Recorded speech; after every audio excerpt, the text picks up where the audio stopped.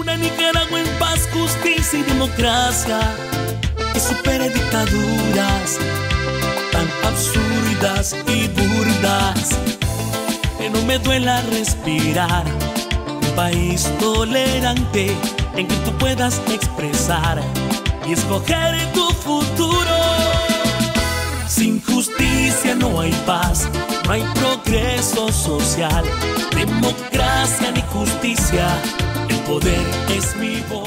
Hola, ¿qué tal amigos? ¿Cómo están? Sean bienvenidos a este espacio de noticias Voces en Libertad, el lugar donde convergen más de 70 periodistas y medios independientes de todo el país. Yo soy Lilibet Gutiérrez y voy a estarles acompañando a lo largo de esta edición. Les recuerdo ingresen al sitio web www.vocesenibertad.com para que usted no se pierda nuestro contenido y el contenido de nuestros medios aliados. Sin más que agregar, empecemos con nuestras informaciones.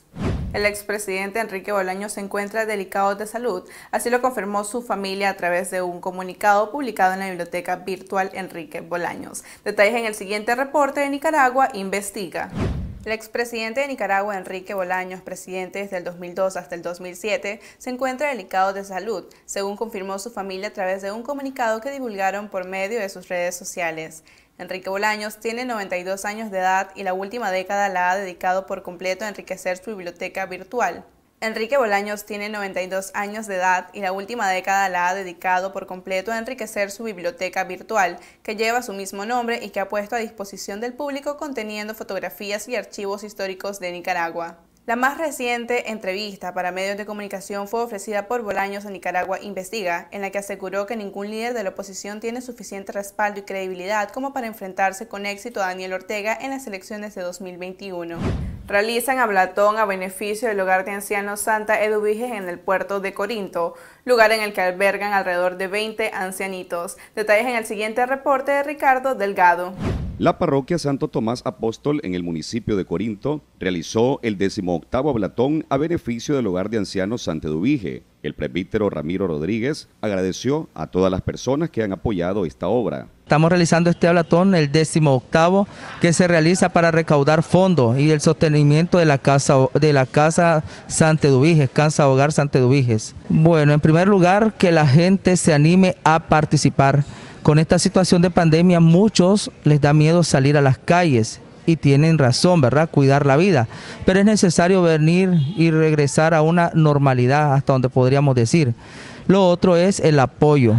Manos que dan con generosidad nunca quedan vacías. Y esto que estamos realizando es para mantener y sostener la obra de la casa de hogar heredada por el padre José Chendel. Muchos han fallecido ya pero también, como les decía, hay 20 abuelitos que están viviendo actualmente en nuestra casa. El comité de apoyo recordó el legado de su fundador, el padre José Chendel, que en paz descanse. Este hogar de ancianos se mantiene de todas las actividades que realiza. Pues esta es una buena iniciativa, ya que esta es la mayor obra de amor que tiene nuestra parroquia Santo Tomás Apóstol del puerto de Corinto, que nos dejó nuestro querido y recordado padre José Chendel. Entonces nosotros, eh, los corinteños, por el amor que le tenemos al padre, por el amor que le tenemos a la iglesia, siempre continuamos vigente esta obra y pues como sabemos en los montos del hogar de ancianos pues son elevados y a veces los recursos no nos dan para abastecer todo lo que ahí se necesita.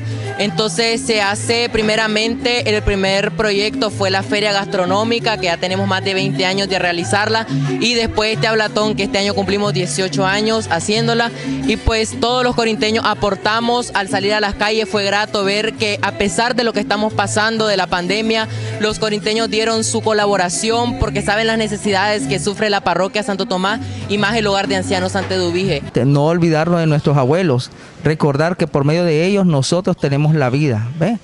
Tenemos que honrarlos y estar pendientes de sus necesidades. En su momento ellos fueron jóvenes y dieron, desgastaron su vida por nosotros. Ahora nos, nos toca a nosotros responder y cuidarlos a ellos. Las actividades continuarán el resto del año para poder solventar los gastos del mantenimiento de esta casa de ancianos. Para Voces en Libertad, desde Chinandega, Ricardo Delgado. Líderes territoriales de los pueblos indígenas y afrodescendientes denuncian que el reglamento aprobado recientemente por el Consejo Regional del Caribe Sur no es de su beneficio. Detalles en el siguiente reporte de Lacayo. El Consejo Regional del Caribe Sur integrado por 45 concejales, en su mayoría sandinistas, aprobó un manual de certificación de autoridades territoriales y comunales que ha desatado la protesta de varios líderes indígenas y afrodescendientes, que aseguran que esta es la manera que el gobierno de Ortega ha encontrado para controlar las concesiones de recursos naturales de las comunidades de la costa Caribe Sur. Es una manipulación. Mira, están manipulando casi todo el país y ahora están buscando cómo manipular lo que son las comunidades los recursos de las comunidades, recursos humanos, recursos naturales de las, de las comunidades, a su, a su gusto y antojo. Y como miran que no lo pueden hacer a como ellos quieren, porque siempre cuando hacen algo fuera de lo normal, se le hace una demanda, un recurso de amparo, entonces quieren evitar eso.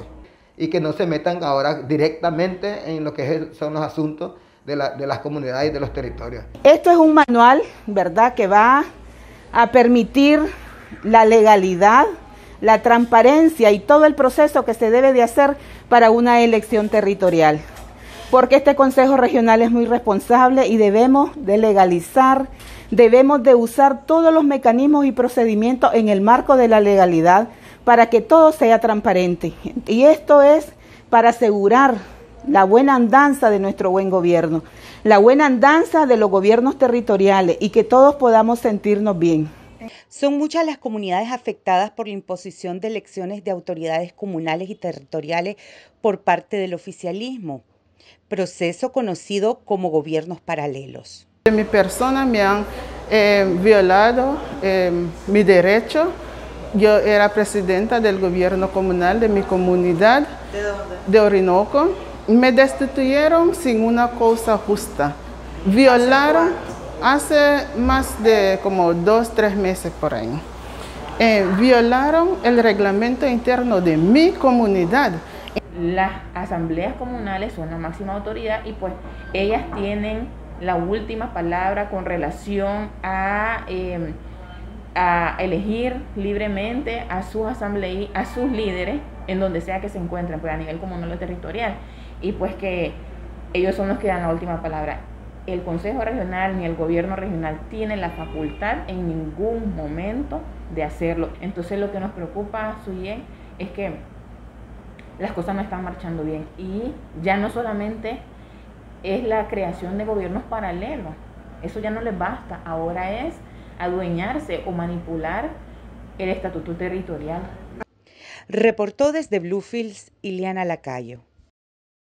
Carlos Fernando Chamorro conversó con el economista Néstor Avendaño, quien asegura que en Nicaragua estamos viviendo una depresión económica. Detalles en el siguiente reporte de Confidencial. Las empresas cerraron, las empresas suspendieron temporalmente a los trabajadores, algunas, las que cerraron, despedidos totalmente fuera del mercado, fuera del empleo, bajó la oferta, Luego viene la poca capacidad de ingreso, no solamente de las familias, sino también de los productores. Venden menos, tienen menos utilidades, las familias tienen menos salarios. La demanda interna, consumo e inversión se deprime. Se da el shock de demanda posterior al shock de oferta.